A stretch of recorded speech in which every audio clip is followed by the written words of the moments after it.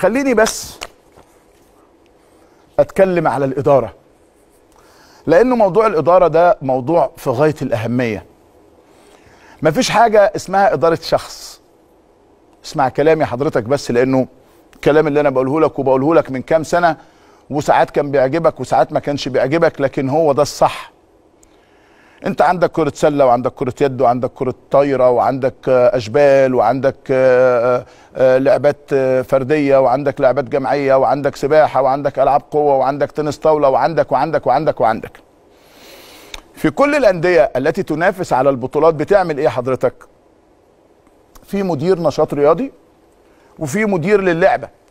وكل واحد له صلاحياته الكاملة عشان يشتغل عشان يعرف ينجح.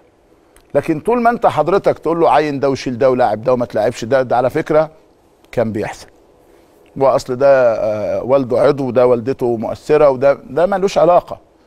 ده ملوش علاقة. إحنا في النهاية يظل النادي الأهلي ونادي الزمالك هي أندية جماهيرية.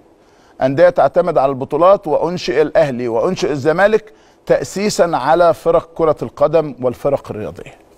فتتعرف على الاهلي زمان بالناس الكبار اللي أنشأوه أو الزمالك بالناس الكبار اللي أنشأوه بفريق كرة قدم كان نجمه كذا بفريق كرة قدم كان نجمه كذا. ما كانش لسه لا في سلة ولا كان في فولي ولا كان في آه، آه، آه، هاندبول ولا كاراتيه ولا ولا حاجة من دي خالص يعني. فالأساس كان نجوم كرة القدم في هذه الأندية. نادي صغير اجتماعي كده وفي فرقة كرة قدم. ثم بدأت فرق الناشئين وكان زمان يقول لك الأحمر والأبيض الأبيض والأخضر وهكذا. فجأة كده من كام سنة بدأت قصة إدارة الفرد الأوحد. وده ما ينفعش. أنا حتى ضربت مثال بالدول. دولة بيبقى فيه رئيس جمهورية بيبقى في رئيس مجلس وزراء بيبقى فيه وزراء بيبقى فيه مسؤولين بيبقى, بيبقى في تدرج موجود عشان الدنيا تمشي. ما ينفعش. فبالك لما بتكون في نادي عنده كل هذه اللعبات.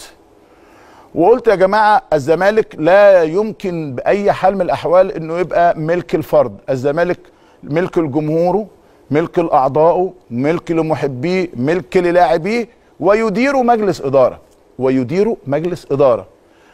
وحصلت بقى يعني هجمات عنيفة جدا وتطاول وسباب وشتائم ولجان. وأنا على موقفي اللي من فترة واللي النهاردة واللي إن شاء الله ربنا ادانا العمر بكرة وبعده وبعد سنوات كمان لن يتغير. أي نادي أو أي مؤسسة محترمة إذا أديرت بشكل مؤسسي تأكد من النجاح.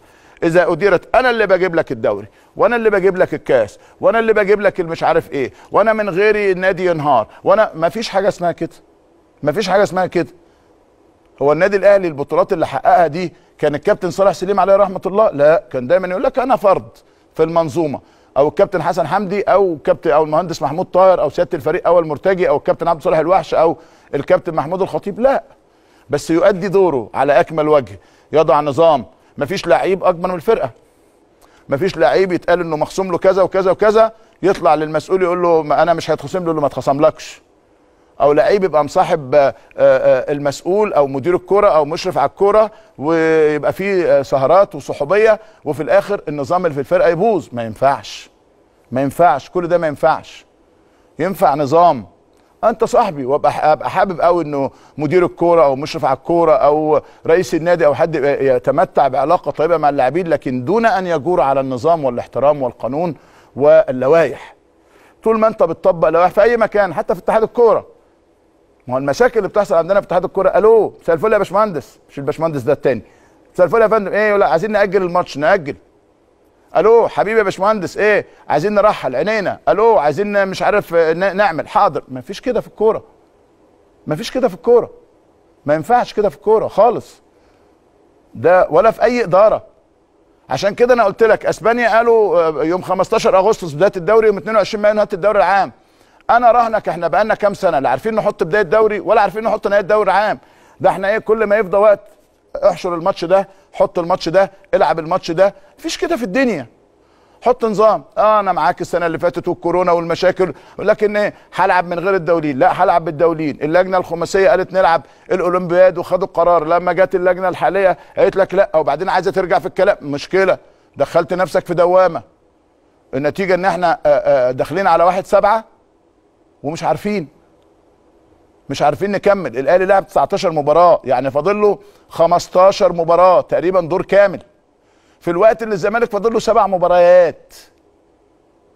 الزمالك لعب 27 يعني فاضل له سبع ماتشات. الاهلي فاضل له 15 مباراة. بقى منطقي. في بقى البعض كان من منتظر إن الاهلي يخرج من البطولة الإفريقية إنه مش هيعدي صن داونز فعدى. مش هيعدي الترجي فعدى. إن شاء الله بإذن الله بأمر الله بدون مقاطعة هنحتفل بالأهلي بطل الافريقيا بإذن الله. وأنا هتكلم كتير على الأهلي وكذا تشيفز وبنبه لعيبة النادي الأهلي. خلي بالكم مباراة صعبة مباراة رزلة. آه على الورق أنت شكلك أفضل أنت شكلك أحسن لكنه في النهاية لازم تاخد بالك إنه آه، آه، المباراة كسبان هو الوداد في الوداد. كان خسران قبل كام؟ الوداد أربعة. لازم تركز في هذه الأمور.